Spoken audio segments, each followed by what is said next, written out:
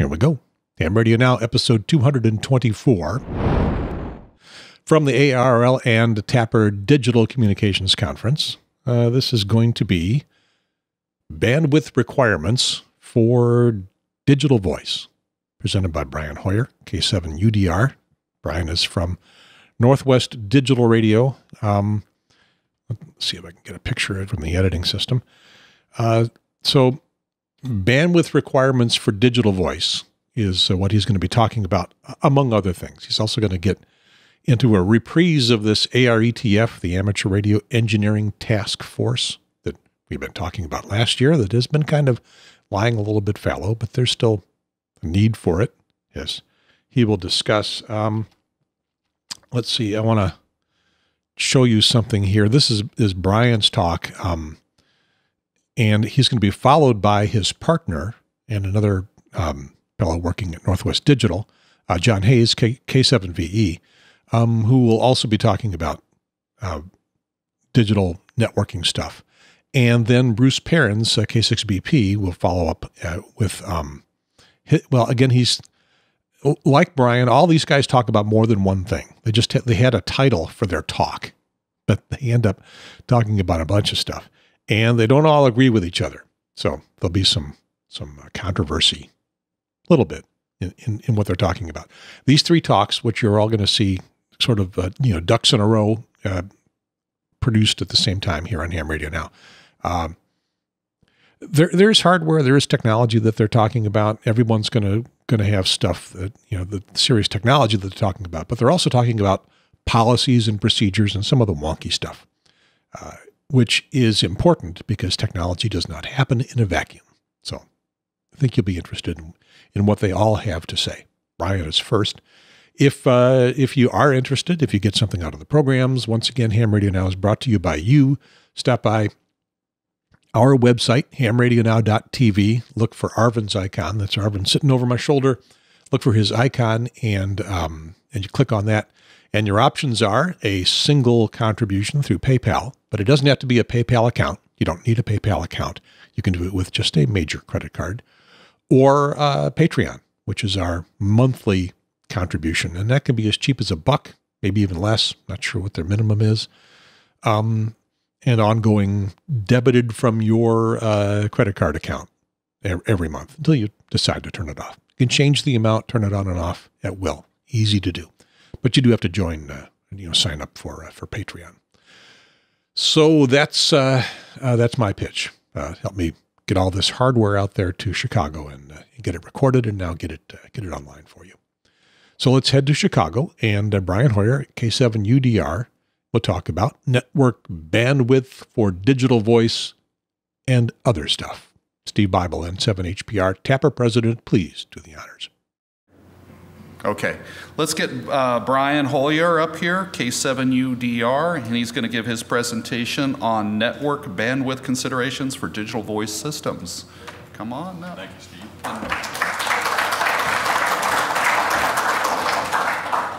Look, there I am. So, I've spoken at these things before. Stay close to the mic, right, Gary? And uh, how many of you people have heard of Northwest Digital Radio? Who hasn't? Okay, thank you. Um, I, I ask that because I want to make sure the presentation doesn't bore a lot of you, but for people who haven't heard about it, I want to make sure you get the information as well. So the topic for today is actually going to be uh, an act in three parts. In part one, we're going to talk about bandwidth requirements for digital voice. Then I got a couple other sections I want to go through. So, how many folks here do IRLP? Okay. How many folks? How many folks do D-Star? Okay. A common question I get is, why is routing over D-Star important when you can do exactly the same thing with IRLP? And the answer is, well, you can, but it's different and people seem to like it. So, as he says, no judgment intended, it's become popular to route things over the internet. And so we have one of those D Star gateways, and we located it at a guy's house. And the first thing he said is, How much of my internet is this going to chew up? Now, I have to tell you, I live on an island up in Washington, And our internet goes from um, bad to worse. Although recently, some of us did get fiber. Right, Basil? And uh, that's made things a lot different. So it's a legitimate question. So I asked myself, well, it's only a 4,800 bits per second stream, so I guess it should take, I don't know, 4,800 plus some overhead plus some stuff. But my friend looked on the ICOM site and said, well, you need a 10 megabit connection. I'm like, really? At that point, the engineer in me said, if you really need 10 megabits to get 4,800, you're probably doing something wrong.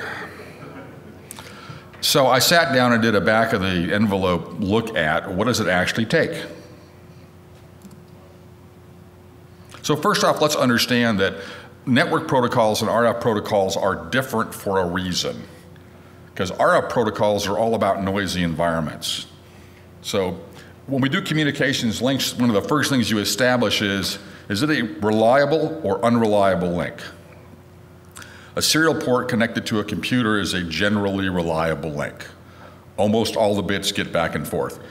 You can toss parity on it or a checksum at the end or something, but in reality, you expect everything arrive in time, in order all the time. And most networking, wired networks are, are set up that way. RF networks, on the other hand, have to deal with noisy environments and channel fade and all kinds of things. So they're, they're at very, very different goals. The other thing to keep in mind is that air links are synchronous. When you put the push to talk down, the bits come out continuously. Networks are asynchronous. Their things are done in packets, and the packets are mushed around, and they're shared with other packets, and lots of things like that happen.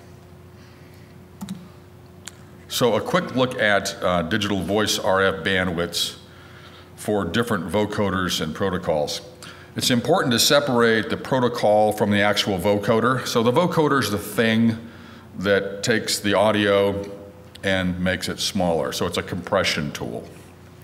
The protocol is simply the stated agreement of which bits are where and what do they mean. That's all a protocol is. So we have a number of protocols. Perhaps we have too many. And we have a number of vocoders. So looking at the choices out there today, let's start with uh, codec 2. Everyone know what codec 2 is? Okay, an open source codec, which does the function of compressing bits. And it's open source and it's cool. And you can choose how much compression you want, so you can tailor it to different things. And I think the best rate is about 700 bits per second and you can pick what quality you want from there. So we're going to list that as 700 bits per second variable. Um, note that there's FEC in here. FEC is forward error correction. Let's see. The first, I think, general use of forward error correction was the compact disc in about 1984. That's the first time that that really became popular.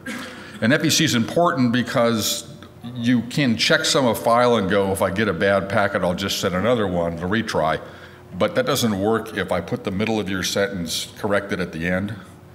So forward error correction is important. Architecturally, the forward error correction belongs in the modem, but that's not the way they organized it. So the people who provide the closed source chips, the AMBE products from uh, Digital Voice Systems Incorporated, DVSI in Boston, they package the error correction and the vocoder together I've shown the bit rate split out because it's important to note that those two things have two different functions. One is about compression, the other is actually expands the bit stream in order to get better reliability. So taking a quick look, D-Star, which was the first amateur radio digital voice protocol that gained any popularity, uses the AMBE vocoder, which has 2400 bits per second for the voice data. Now we started with, let's see, they like to see 16-bit samples at 8K, so that's 128 kilobit stream, and they jam it down to 2400, that's a lot of compression. So that's a very respectable result. Then when they're done with that, before they put it over the RF link, they put 1200 bits, that's called 3-2 encoding, three of these, two of those. No, it's 2-1 encoding, two of these, one of those. And now this thing expands out to 3600 bits per second. And then to round things out, they brought it up to 4,800. So they added 1,200 bits of what's called um, low bit rate data.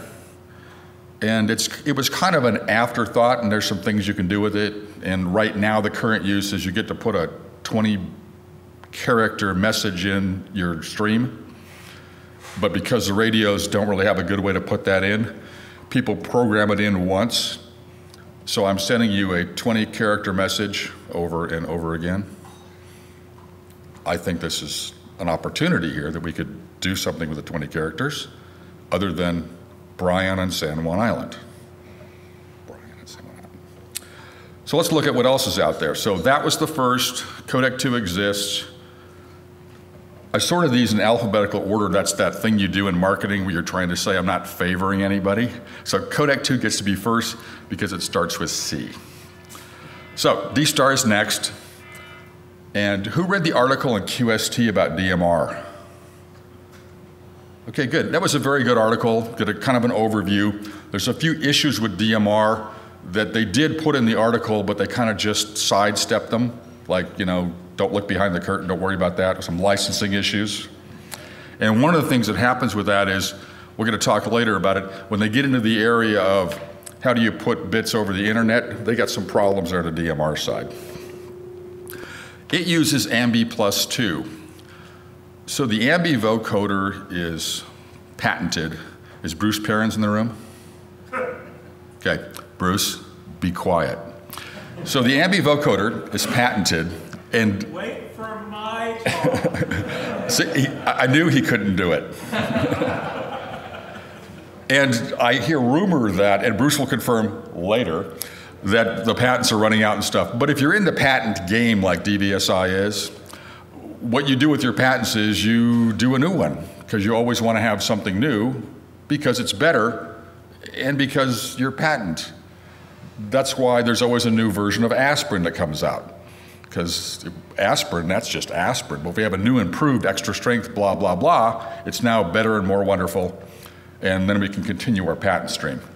So because Fusion and DMR came out later, they used the later version of AMBE, which is called AMBE plus 2. And if you look at the bit rates, you'll notice that the net result is about the same. They push some bits around a little bit. There's a few more over here, a few less over there but it comes out to roughly the same thing. Fusion went one step further and said, well, we'll have two versions, half rate and full rate. Let's think about that for a moment. So D-Star has a standard of half rate, and one of the things that, that Yaesu claims is their audio is better. And I asked them, I said, how do you do that? And they said, well, people say it's better. And I said, are you using full rate? Yes. Well, if you use twice as many bits, it will sound better. So that's a simple thing there, but it has an impact. Notice the bit rate doubles. So you can make your own judgments about when do you want to use which quality, but understand that whatever bit rate we use ends up being the RF bandwidth consumed. So back to my original question, which was, I'm going to hook this gateway up. How many bits do is, is it going to burn on my internet? So this is an Ethernet 2 frame, and it's not important that you see all the detail of it. But basically, an Ethernet frame has a preamble, which software guys don't talk about because they don't make it happen and they don't have to deal with it, so they think it doesn't exist. But it's got a preamble which basically says, wiggle around for a while so I can get my clocking straightened out. And then there's a destination address and a source address and a type that's where you get IPv4 and IPv6 and stuff. And then you have this magic payload. That's the stuff that matters. John's going to talk next. He's going to talk a lot about payload. And then you put a CRC, cyclic redundancy check, on the end to make sure that you got this frame. If you drop down and look at it, there's a thing there that says IPv4 packet. So within the payload, this is Ethernet now, if you choose to do IP, Internet Protocol, then you have some more header in there. So there's 20 bytes of IP stuff. And if you want to run TCP over IP, you need 20 more bytes of stuff. And then you have this payload on the end, which it says there is 6 to 1460. Note that it's a six, meaning there's a minimum payload size. So you don't get to make really tiny frames. So let's take a look at that and what does it all mean? All right, so focusing on the first line, this is what's currently done today. And I know this because I asked Jeremy because he had to go make this work on his new thing. So I said, So, Jeremy, what are they actually doing? He said, They're actually taking every packet, every voice packet, which is composed of 72 bits of compressed voice and 12 bits of compressed data. It's about 12 bytes, or as John would say, octets. And that's what actual voice piece is. Now, out on the wire in the air, by the time you get that one done, you need to do another one. So that's a continuous stream. It's synchronous. It just comes out and flows continuously. But if you're going to put it over a channel which is anything bigger than the necessary rate, it's going to come out in packets. Well, that's a good thing because networks like packets. So the first line, current technology, we're going to use UDP. So after we get into IP, Internet Protocol, which gets us addressing and routing, we're going to choose a methodology for our data, and you get two broad choices.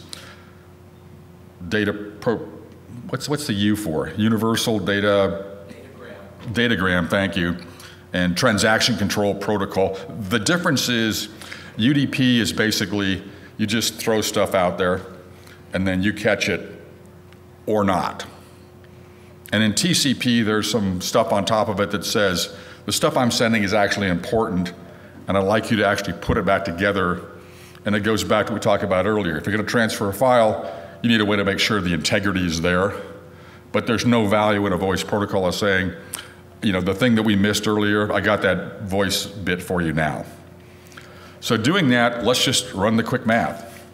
So the top line, current technology, you got eight bits or bytes of preamble, followed by header, followed by the data, followed by the checksum.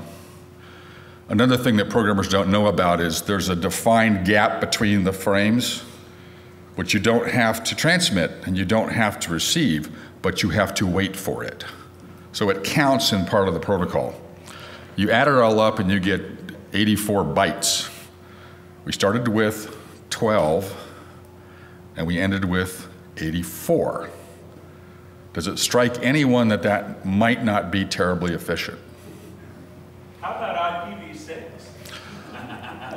there he goes, he's talking again. Um, that's a good topic, Bruce, and you should talk about that when it's your time to talk. Because it does. IPv6 deals with this tremendous header overhead. So if we math it all out and then reverse it up, if we were going to do this thing over RF, it would be 33.6 kilobaud. It's about what, about 8x? So we went to all this work to compress your voice down to 2400 bits, and then we blew it up 12x to get it over the network. But I'm okay with that because it's easy. So the fact that they did this is fine because 33 kilobits on a typical network is not very much and it doesn't really matter. So I'm fine with that. Except one thing bothered me. There's two things I, I hate to do. I hate to burn bandwidth because I know somewhere in amateur radio we're going to hit a bandwidth limited channel. And I hate to burn power. So I'm never cavalier about those two things because in all the stuff that we do, they're always, if not critical, they're important. So a quick look said, well, we should use UDP because you know it's more compact. So I ran the same numbers with TCP, which gets the additional guaranteed delivery sync and stuff, and I found it cost us a whopping seven bytes. So we went from 33.6 to 36.4, which basically suggests we can use TCP, which has other advantages in the overall chain. And then I went back to my satellite days and said, what's an acceptable latency? So satellite phone calls up to the satellite and down again, it's about a half a second, drives you crazy. These little voice things are 20, 25, 30 milliseconds. So if I, instead of making one per frame, I, I waited and gathered a few up and then shoved them all in the same payload, what would that look like? So that's the one, two, three, eight. I picked an arbitrary number. Let's look at up to eight. And as you can see, it drops from 33 kilobits. You easily almost chop it in half by putting two in there. And then you run into diminishing returns at some point. So a thing that we could do is we could gather a few voice samples up and put them together or use a different protocol like real-time protocol or something else. So this to me doesn't say anybody did anything wrong. It said there's an opportunity there to do something better. So things to consider. Multiple ways to do the same thing. So we started with, a couple slides ago, we have this digital voice thing, and there's at least, there's many more, but there's at least three that are now contending for your mind share and your wallet share, DStar, DMR, Yaesu Fusion. After we put the bits onto the internet, like all good hams, D plus came out first. That was a methodology for moving stuff around and creating gateways. And immediately somebody had to do it better. So X-Reflector came out, and then DCS, and then CCS. And I'm sure that more hams will figure out more new ways to do the same thing a little bit differently. Back to DMR. The DMR specification does not have anything to do with this. It's only the RF part. So when people say, yeah, we can do that with DMR too, you can, and there's currently at least two different ways to do that. There's the Motorola way, and there's the Hytera way and they've got their own network things, and never the twain shall meet. Now, looking at the first slide and this last slide, I'm going to pause here and say something. These systems are 95% the same and 100% incompatible. Think about that. Fusion, D-Star, DMR, what are we doing? How many of you were here a year ago, not here, but in Austin? Did you ever wonder what happened to this? So, the Amateur Radio Engineering Task Force, uh, Kenny and I launched this last year to say, you know, what I think we need in amateur radio is a methodology for us as a group to decide how we should do things. And it's modeled after that other one, the Internet Engineering Task Force. Because what would the world look like if you went to go to a website and said, I'm sorry, we have a Cisco router, and you don't? What if you picked your phone up and you dialed and you said, I'm sorry, you're on ATT, we're GTE? That's what we are building in amateur radio today. And I think it's wrong. It's not good for us.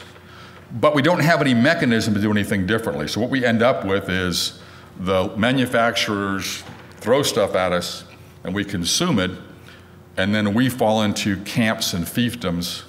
Yes? Wasn't that the justification for creating Codec 2? That's correct. What happened? The, Bruce will talk about that.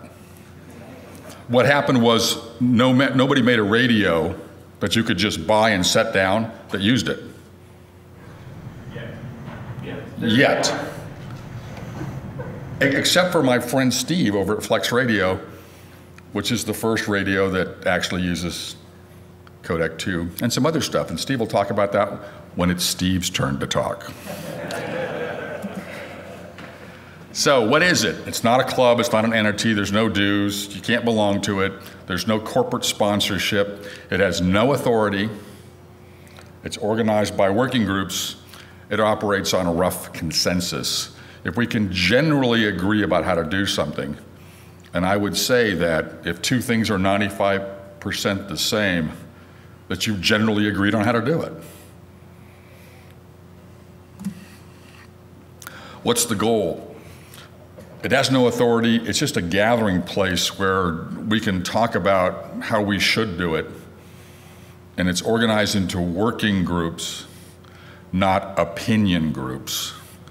Because when you put a forum up, the first thing that happens is every expert in the world gets on and tells me how I should do it.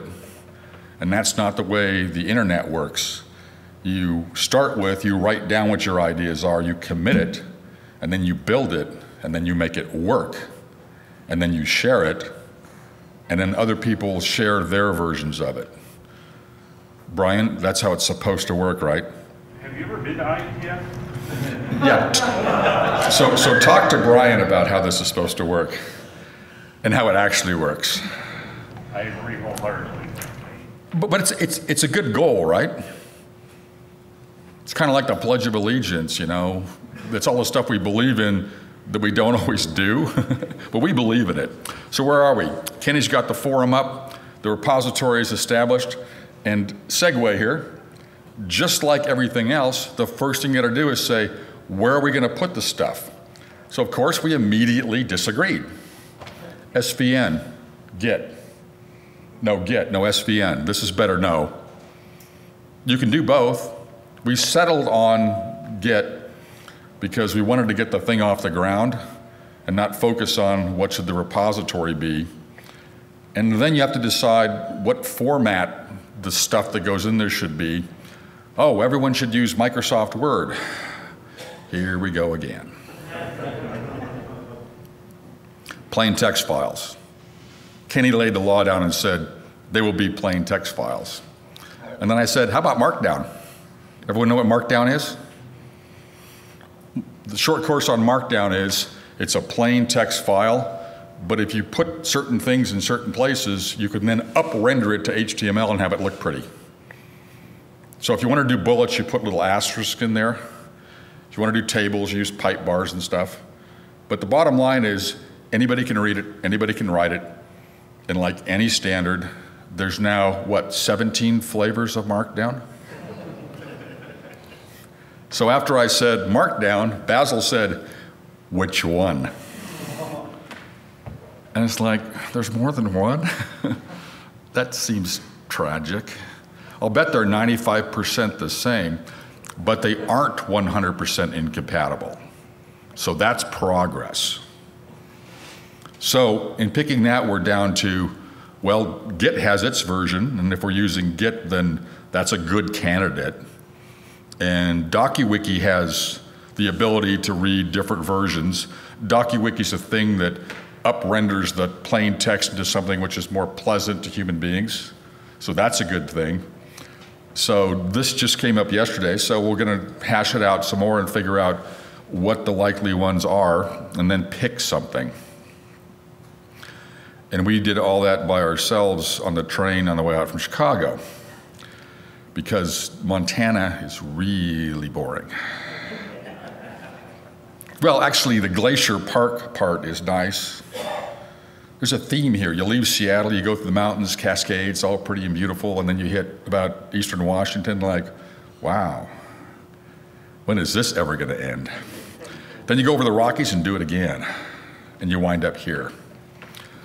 So the first working group was formed. Um, it's authentication. We don't do encryption ham radio, but authentication is important, which doesn't just mean I'm K7UDR. It means some authoritative way to figure out that I am who I say I am. And the working group popped up with a number of people who are actually doing work on it. One is Corey, who's doing ham WAN in Seattle, which is a 50 megabit network all around the Seattle area, carrying IP traffic on the 44 net space. And Corey's dealing with that. He's on there. Hessu, who did APRS.FI, he's doing it. He talked about authentication and the need at a DCC back in Seattle. And then the third guy is a guy named Andrew Pavlin. Is he here? Good, we could talk about him. So Andrew did YAAC, yet another APRS client. And he heard a talk of mine a couple years ago at Microhams about we need some way to do authentication, particularly when we want to switch from talking about stuff to doing stuff. So in our radio projects, we have frequency agile radios. We can change the frequency over the air. And I want all of you to hear everything we're doing, but I don't necessarily want all of you to touch my knob. So I have what's called DTMK, don't touch my knob. And authentication allows us to do what Andrew named telecommand, which is the ability to send over APRS not just a message, but a command to do something. And in his case, he's going to go warm the generator up in his RV, and he doesn't want you to play with it. You can listen to it. You can say, look, there's Andrew over there. He's turning his generator on. It's all plain text, but only he can do it. So that happened. And then just on the train in Chicago, we're talking about our radio product. How are we going to test this and how are we going to compare it to things that are already out there, both from a compatibility standpoint and a performance standpoint? So the second working group was kind of thrown together, which is we need a standard published methodology for testing digital radios, because I think that's missing. So I'm on that one. Uh, Dennis Rosenauer actually came up with the first idea of how to do it. Dennis has a zillion dollars worth of equipment, and he said, But you should be able to do this with just a radio and a TNC and a computer. So that's a good working group to start, and I'm responsible for getting the first draft there. If you're interested, aretf.org. If you look, there's a post from a year ago where Kenny said, This is great. And the second post is uh, this morning, or was it yesterday? Yes, that we published something on authentication. Time? How, how are we doing? Okay. Let me give you a quick update on the UDRX 440. Who hasn't heard of this? Okay, so for those of you who haven't, the UDRX 440 is 25 watt, 70 centimeter, band limited, software defined radio. It starts at 4800 at the bottom. Can we do 1200? Yes, I'm not going to. To up over 100 kilobits per second. It runs both the AX25 and D-Star, and it could do DMR if one had a license to do that. And it has an open source Linux server you talk to it from a network interface via browser, so it is truly platform independent. Macs, Androids. If it has a browser, it'll work. And it's got four accessory USB ports. Announced it in 2012, used one of the all-in-one inclusive transceivers, which are commonly used in, in uh, hotspots and stuff, and they don't have at power the performance levels we're seeking. We did a total RF redesign in 13 the processor boards have been running for years. Prototype 3 is working in the lab now. Thank you, Steve. But we're switching to the Raspberry Pi 2. Because, by the way, I invented the Raspberry Pi. You didn't know that. Back in 2011, I needed a thing, a single board computer, and there were no Pis, but there was a thing called a SheevaPlug, which was a Marvell SoC with some stuff on it, and it actually plugged in the wall, and it was 100 bucks. So I went, well, I'll just call them and buy them in volume, and my target cost was 50 bucks. So I said, okay, if I bought a thousand of these instead of one, I took the case off and the box and the cable and the packaging and the power supply, what would it cost? And they said, $99. So I went out and built a Raspberry Pi. In fact, I built a Raspberry Pi 2 two years before they did. So here's the UDRX current single board computer on the left, bolted to the RF deck. Here it is compared to a Raspberry Pi 2. Single chip Linux system, four USB accessory ports, RJ45 for network, 5 volt powered, I2C, SPI, I2S, and some GPIO on a 40 pin header. This board was built in 2011. In China, we shipped 10,000 a month. They went into the educational market.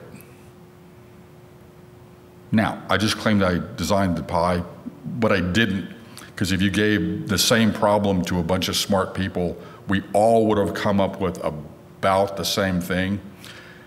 And what we should not do is make it 95% the same and 100% incompatible. So I have 26 of these things running around at Basil's place and Dennis's, and, and John's got a couple. But there's 4 million Pis. Maybe I should make my 40 pin header the same as theirs.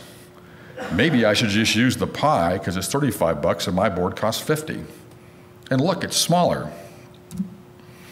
So I just made a transform board to map the pins, hung a 40 pin cable on it. Don't you like the paper clip? That's the special. That's the special thing. That's optional. Shipping units will not have paper clips. When we're done with the analysis and we spin the RF board, of course, we'll just suck that header in there and we're basically done. What does that do for us? Hmm. I lost a slide. Steve, if I could have five more minutes to redo my, to redo my slides, then I would be guaranteed to be the very last one. Any rate, so what have we talked about here is the slide will pop up at the end now.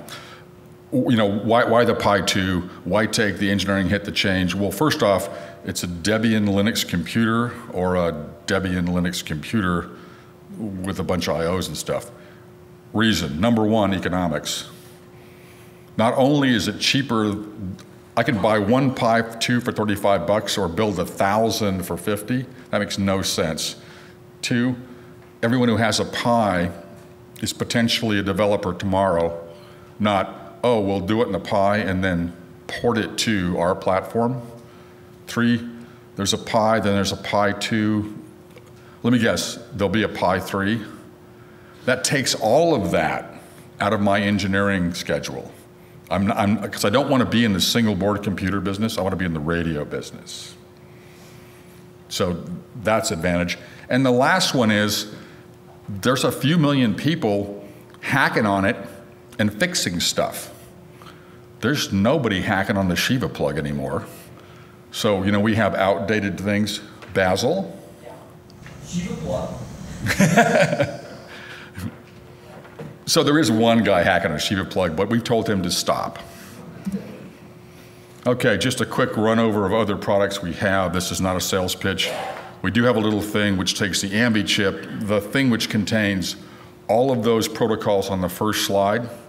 You can drop it on a Raspberry Pi, run a thing called AMBE server, and then you can get into your D-Star gateways from any computer which is on your LAN. That's very cool. It's so cool that Steve at Flex Radio came by and said, I'd like to add that to our radio.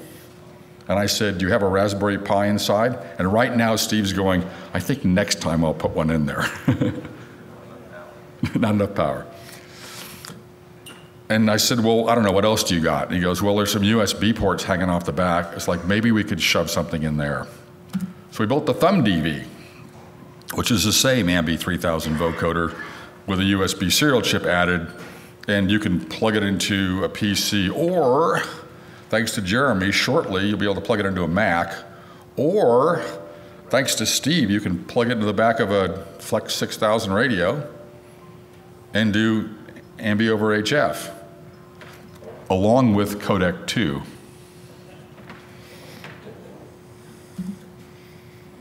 And one other thing that popped up when Yaesu announced Fusion, the first thing you have to do is get a whole bunch of repeaters deployed.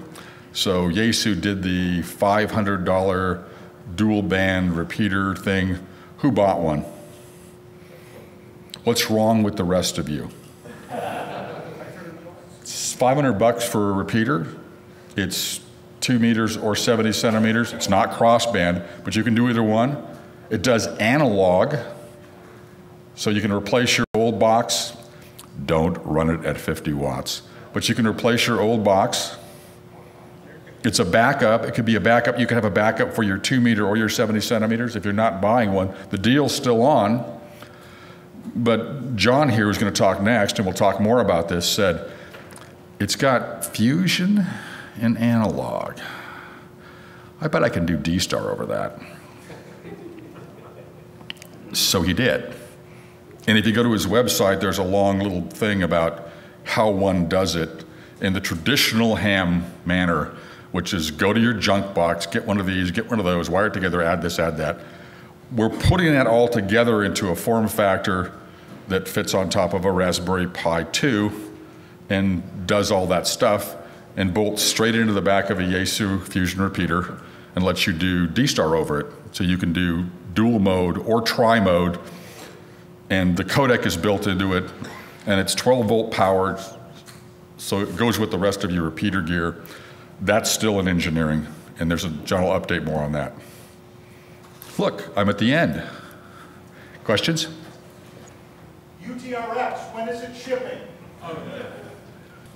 When is it shipping?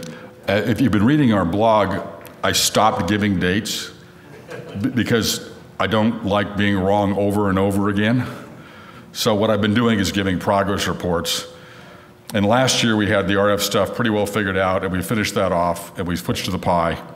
And as my father used to say, I knew the war was over because there was nothing left to bomb. That's what the UDR is like. It's like, okay, so what do we have left to do? It's going over to the Pi now. The RF deck is in final form. I got to do a spin to clean some stuff up, put it in a pilot run before we cut it loose. So Scott Honaker asked me to speak at Microhams in Seattle, which is end of March. And I said, sure. And he said, what are you going to talk about? I said, I'm either going to talk about the UDR shipping or I'm going to light myself on fire. and Scott said, I'm good either way. so that's what I'm thinking is that we're now into Q4. And once the Pi stuff is up and running and I do the spin, that should happen in Q4. So we should start taking orders first of next year. So here I go again. Everyone always goes, when? And I say, I'm not going to tell you. And then I say something, and then I'm wrong. Steve, have you ever been late on a project? Other questions? I was going to, I wanted to mention that uh, we plan on having fire extinguishers on hand. Yes, thank you. be, be safe. I'm a little confused again, as usual. What, uh, I didn't think the Fusion came with a connection for the internet. Is that? Oh, that's a good point. They forgot that. So the UDRC, being a Raspberry Pi 2, has an internet connection. So then it does not only the repeater function and the D-star function, it also means you're on a gateway. And yes, you could be on a gateway to a fusion reflector before Yaesu figures out how to do it.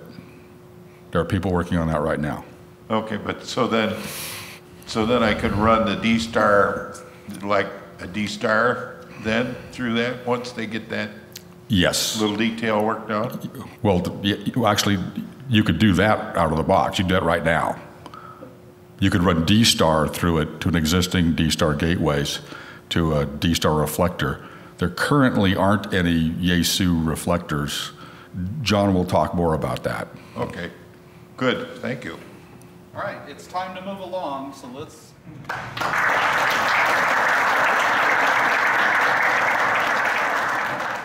Thank you, Bryan.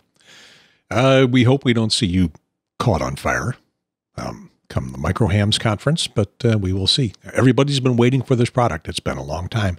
Introduced it on a uh, ham radio now, but not not to the world, but but to a lot of people on a ham radio now. Um, visit to uh, the Dayton Hamvention uh, several years ago when I did not understand what the product you were pitching was, but now I I sort of understand. And uh, we'll see. Don't light yourself on fire. Get that thing out the door. That's it for this episode of Ham Radio Now. Ham Radio Now brought to you by you, either a contribution through PayPal or a monthly contribution through the Patreon. Stop by hamradionow.tv if you're getting something out of these programs and can afford it here in this Christmas season. Maybe you're watching this well after Christmas is over and uh, your bank account is recovered. then think about us, hamradionow.tv. I'm Gary Pierce, KN4AQ 73. Over and out.